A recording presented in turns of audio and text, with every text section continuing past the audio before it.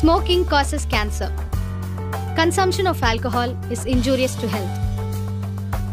Be safe, don't drink and drive.